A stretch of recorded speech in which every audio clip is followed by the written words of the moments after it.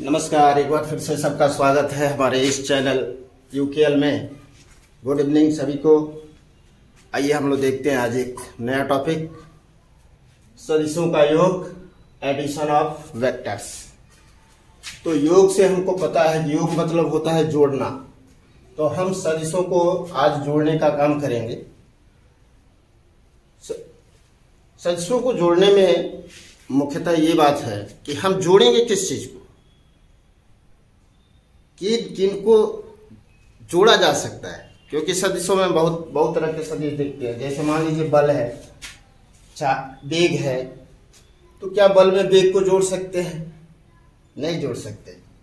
तो इसका कंडीशन यह है कि उसी सदिश में वही सदिश जुड़ पाएगा कि जब दोनों समान प्रकृति को हो। जैसे बल में बल ही जुड़ पाएगा बेग में बेग ही जुड़ पाएगा, विस्थापन में विस्थापन ही जोड़ सकते हैं। ऐसा नहीं है कि हम बल में बेग को जोड़ सके। यह चीज़ नहीं कर सकते। तो दो या दो से अधिक सदिशों को तभी हम जोड़ पाएँगे जब उनकी प्रकृति समान, उनका नेचर समान तो आइए हम उनको जोड़ने की मुख्यतः हमारे पास दो विधियाँ हैं। एक ज्यामिति विधि है और एक होती है गणितीय विधि। ज्यामितिक विधि का अर्थ है कि हम वेक्टरों को लाइन खींच के या रेखाओं से, के माध्यम से इनको जोड़ते हैं। तो ज्यामिति विधि में आज हम दो विधियाँ पढ़ेंगे। एक है त्रिभुज विधि और एक है आपकी बहुभुज विधि। त्रिभुज से मतलब ही है कि ये तीन भुजा से के रूप में आएगा। जनरली हम देखते हैं, मान लीजिए कि दो सदिश हैं। वेक्टर ए बराबर तीन मीटर पूर्व और एक वेक्टर बी है जो पाँच मीटर उत्तर पूर्व की ओर है।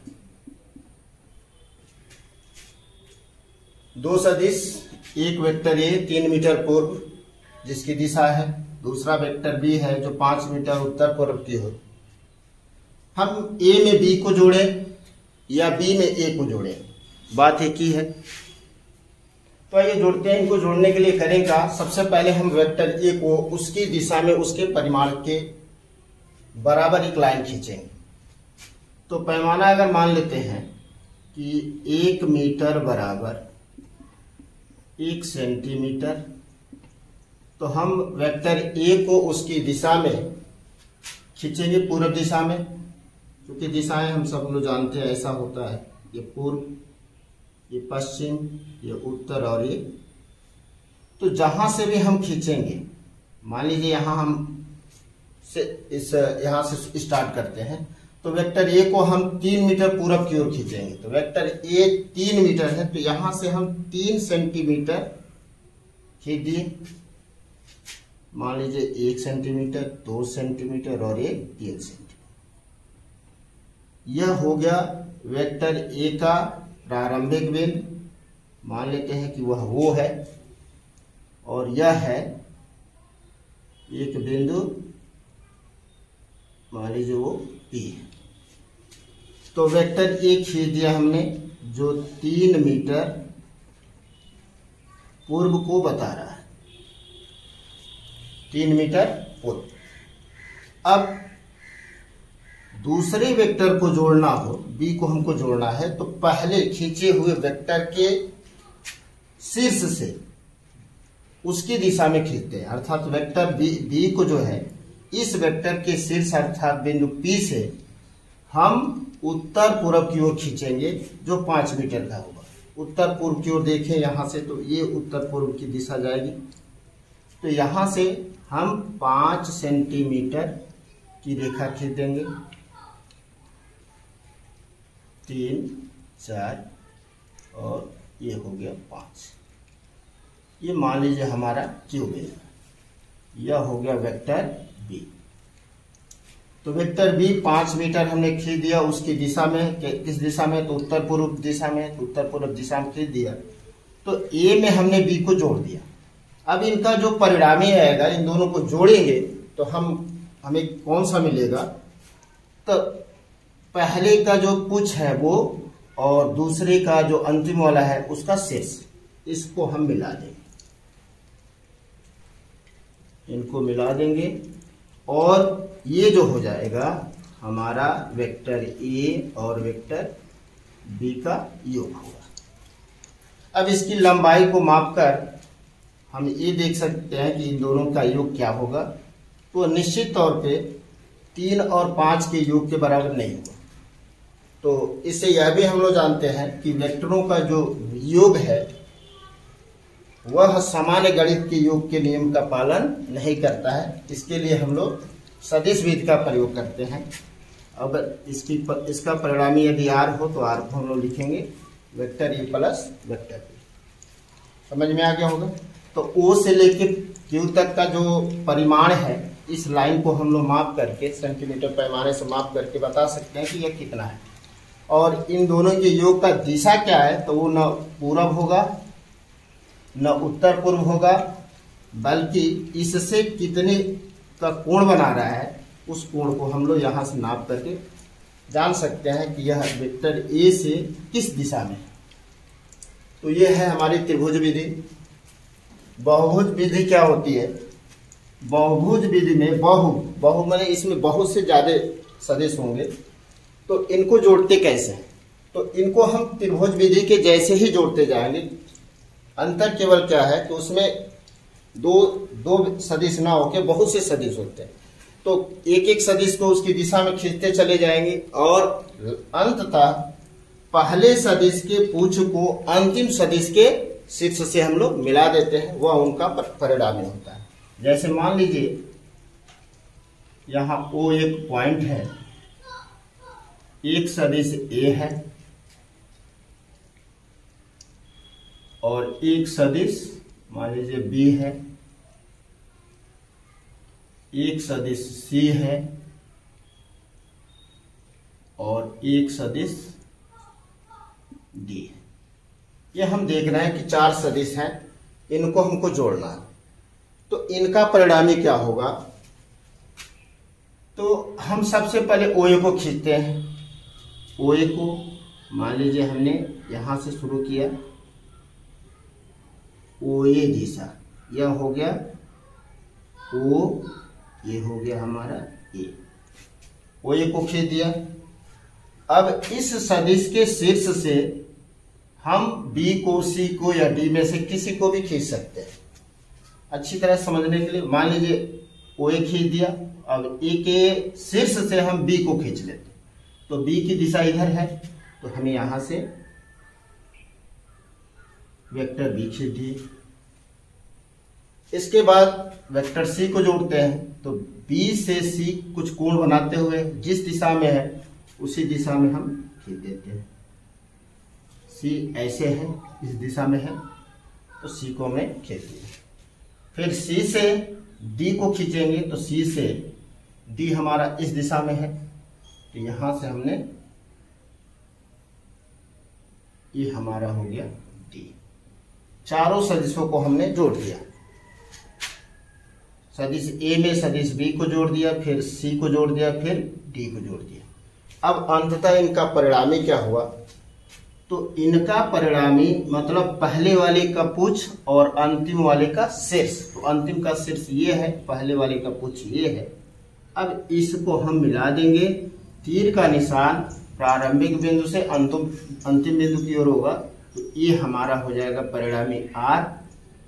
जो आर होगा, यह पहले, दूसरे, तीसरे और चौथे सदिशों के योग के बराबर होगा। अर्थात हम लोग लिख सकते हैं, जो वेक्टर आर है, vector A plus vector B plus vector C plus vector D, इनके योग के बराबर होगा। और भी हम इसको देखें तो ओ ए में जब इस बी को जोड़ रहे हैं तो प्राप्त होने वाला सदिश ये हो जाएगा। अब इसको और इसको हम जोड़ेंगे तो ये सदिश हमारा मिल जाएगा। अब फिर इसको और इसको जोड़ेंगे तो आर वाला प्राप्त हो जाएगा। तो यह विधि हमारी बहुभुज विधि है। उम्मीद है कि समझ में आ गया होगा। अब जो जो दूसरी विधि है ज्यामिति विधि के बाद गणितीय विधि है। गणितीय विधि में हम क्या करेंगे? दूसरी विधि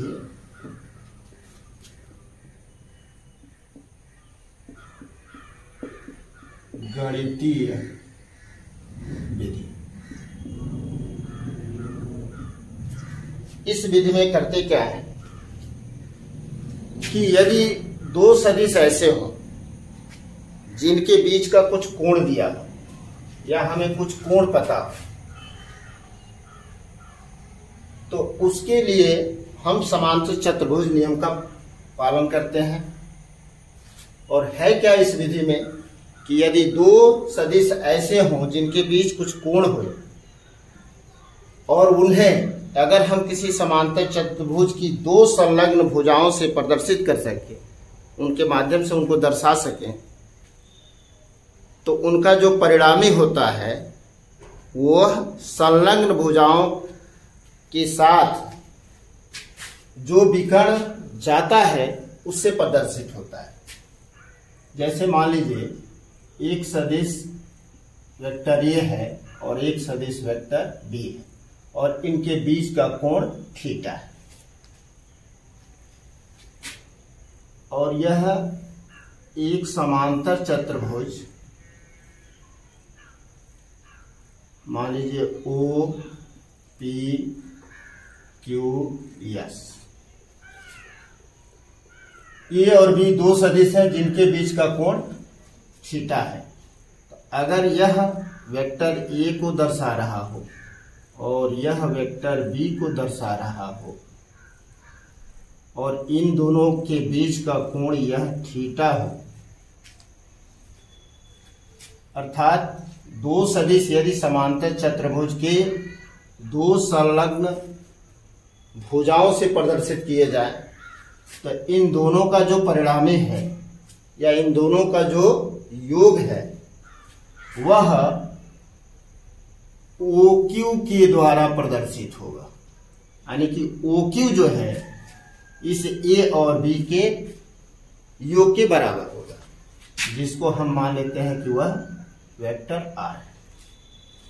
तो गणितीय रूप से कैसे इसको हम ज्ञात करेंगे?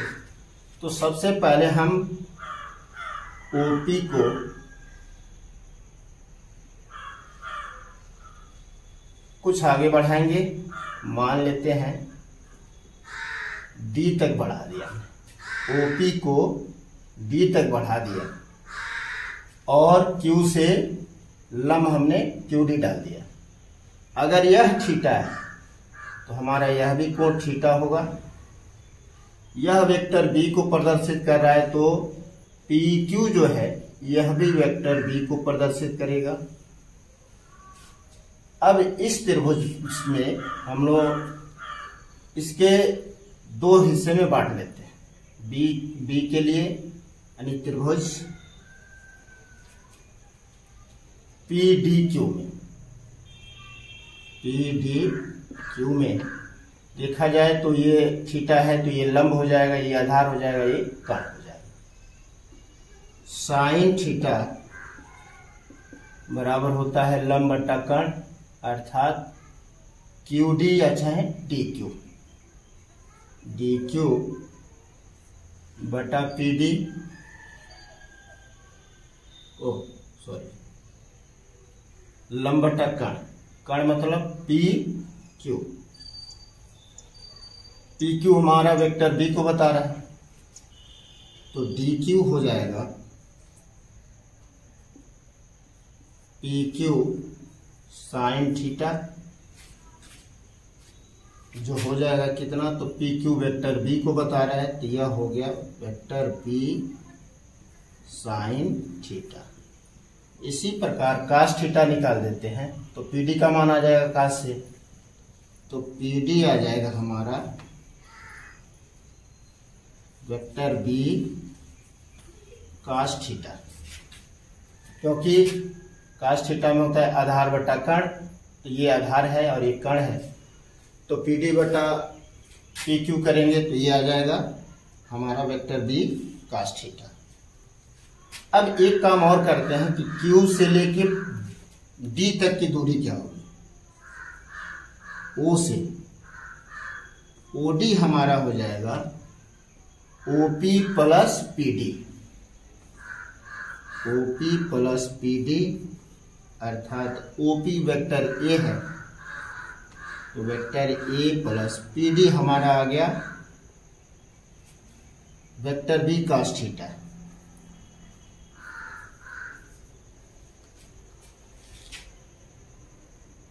D Q हमारा आ चुका है, जो वेक्टर बी साइन थीटा है।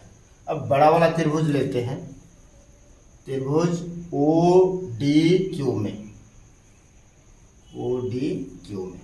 हमको पता है कि ओ डी क्यू में ओ डी क्यू ये दिख रहा है हम लोग को?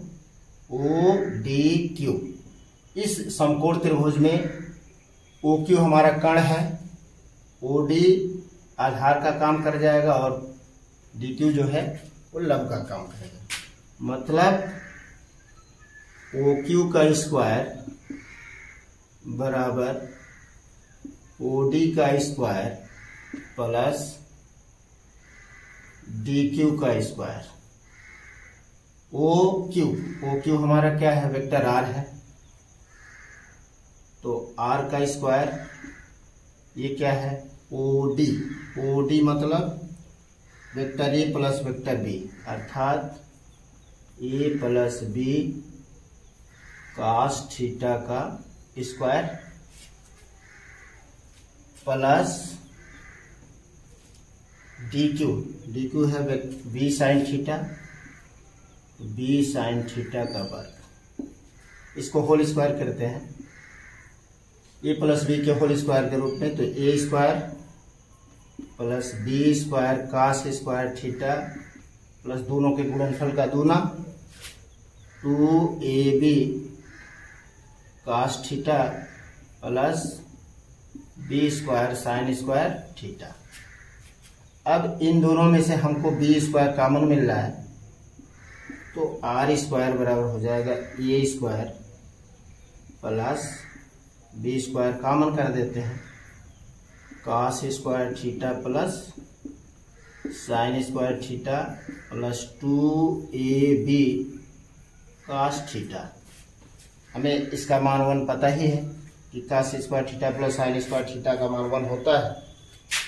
तो आर स्क्वायर बराबर हो गया A square plus B square और ये वन हो गया plus two A B cos theta अर्थात आर बराबर under root A square plus B square plus two A B cos theta ये हमारा हो गया। ऐसे दो सदिशों का परिणामी जिनके बीच कुछ कोण दिया। हो अब इस आर की स्थिति अलग अलग है। ए, बी और थीटा का मान रखकर यहाँ से आर का मान हम लोग प्राप्त कर सकते हैं। आर का मान अर्थात ए और बी का परिणामी तो हम लोग निकाल सकते हैं। कोण निकालने के लिए क्या करेंगे? तो देख रहे हैं, अगर मान ले कि आर जो है, इससे अल्फ़ा कोण बना रहा हो। आर क्या बना रहा हो? अल्फ़ा कोण। किससे? तो वेक्टर ए से आर जो है, अल्फ़ा कोण पर झुका हुआ। तो अल्फ़ा कोण पर झुका है तो यहाँ से निकालते हैं टेन थीटा। टेन थीटा हमको पता है। टेन अल्फ़ा, क्योंकि कोण हम अल्फ़ा ले रहे हैं, थीटा तो दोनों सदिशों के बीच का कोण है।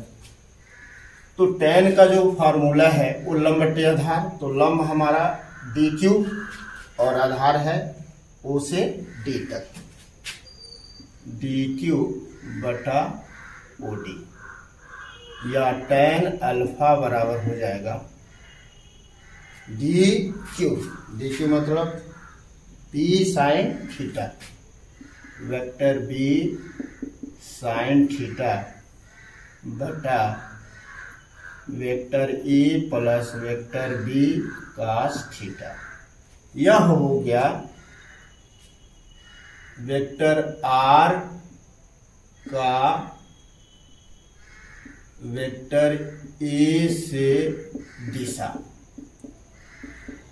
इस सूत्र के माध्यम से हम लोग परिणामी जो आर है, वह ए से कितने का कोण बना रहा है, इस फार्मूले से हम लोग निकाल सकते हैं। अगर हमको ए से नहीं निकालना मान लेते हैं कि बी से निकालना तो आर की बी से दिशा होगी, यहाँ बदल जाएगा। अगर मान लो आर जो है, वेक्टर बी से बीटा कोण बना रहा हो तो टेन बीटा जो हो जाएगा, वह हो जाएगा वेक्टर ए साइन थीटा बटा vector B plus vector A cos theta. यह हो गया परिणामी की बी से दिशा। और ये हो गया हमारा परिणामी की ए से दिशा। तो इस प्रकार इस गणितीय विधि द्वारा दोनों वेक्टरों का परिणामी भी निकाल सकते हैं और परिणामी की किसी भी वेक्टर से दिशा भी निकाल सकते हैं। अब इसकी कुछ स्थितियाँ हैं, विशेष स्थिति, इसको देखते हैं। मान लेते हैं कि यदि दोनों वेक्टर जो ए और बी है, इनके बीच का जो थीटा है, इसकी भिन्न भिन्न स्थितियाँ हो सकती हैं। तो थीटा के भिन्न भिन्न कोण पर क्या क्या आएगा? यदि थीटा बराबर ज़ीरो हो, थीटा बराबर ज़ीरो हो तो हमें पता है कि कास ज़ीरो बराबर वन होता है। कास ज़ीरो का मान वन। अब इस आर वाले सूत्र में रखें तो हमारा हो जाएगा आर बराबर under root A square plus B square plus two A B cos zero, या आर बराबर root A square plus B square plus two A B अब यह हमारा क्या है? ये होल स्क्वायर है। ए प्लस बी का ए प्लस बी का होल स्क्वायर तो आराम से वर्गमूल निकल जाएगा तो आर का मान हो जाएगा ए प्लस बी अर्थात वेक्टर ए प्लस बी इसका सीधा सीधा क्या मत अर्थ निकल रहा है? थीटा बराबर ज़ीरो होने का मतलब ये है कि अगर वेक्टर ए की जो दिशा है, जिस दिशा में वेक्टर ए है, उसी दिशा में वेक्टर बी हो तो अमूमन उस दोनों के बीच का कोण शून्य होगा। और जब शून्य होगा तो उनका परिणामी जो आएगा, आर वो दोनों की योग के बराबर होगा और यह अधिकतम होगा। अधिकतम। यानी इससे अधिक, ए और ए और बी का जो योग है, इससे अधिक और नहीं हो सकता। दूसरा यदि मान लेते हैं कि यह थीटा जो है नब्बे। यदि थीटा बराबर नाइन्टी तो हमें पता है कि कास नाइन्टी जो होता है वो शून्य होता है। अब देखिए, ये चीज़ फिर यहाँ पे भरेंगे, कास नाइन्टी ज़ीरो तो ये ज़ीरो हो जाएगा। जब यह ज़ीरो हो जाएगा, कास नाइन्टी क्या हो जाएगा? ज़ीरो। तो उस स्थिति में आएगा आर बराबर under root A square plus B square. या कह सकते हैं, आर स्क्वायर बराबर A square plus B square. अर्थात दो सदिशों के बीच का कोण यदि नब्बे अंश है तो उनका परिणामी उन दोनों के वर्गों के योग के बराबर होगा। अर्थात आर स्क्वायर बराबर A square plus B square. तीसरी स्थिति ये हो सकती है कि यदि थीटा बराबर 180 हो जाए, थीटा बराबर 180 हो जाए 180 का मतलब एक की दिशा अगर पूरब है तो दूसरे की दिशा पश्चिम हो। ठीक विपरीत दिशा। तो जब 180 होगा तो हमें पता है कि काश 180 का मान जो होता है वो शून्य होता है। और सॉरी सॉरी काश 180 का मान माइनस वन होता है। काश 180 का मान माइनस वन। तो जब यहाँ काश 180 का मान रखोगे माइनस वन तो ये माइनस में आने लगेगा। तो इस कंडीशन में जो आर आएगा, वह under root A square plus B square minus two A B हो जाएगा। और ये क्या है? तो ये हमको पता है, यह ए माइनस बी का होल स्क्वायर है। वर्गमूल करेंगे तो आर बराबर हो जाएगा ए माइनस बी यह जो है, न्यूनतम होता है। मतलब दो सदिशों का परिणामी न्यूनतम तब होता है जब दोनों की दिशाएँ विपरीत होती हैं। अर्थात अगर दो सदिश विपरीत दिशाओं में हो तो उनका परिणामी हम बड़े एक सदिश में से दूसरे सदिश को घटा के निकालते हैं। और यदि दो सदिश समदिश में हो तो उनका परिणामी हम जोड़ करके निकालते हैं। और तीसरा कंडीशन है कि यदि दोनों एक दूसरे के लंबवत हों तो आर स्क्वायर बराबर A square plus B square से निकाल सकते हैं।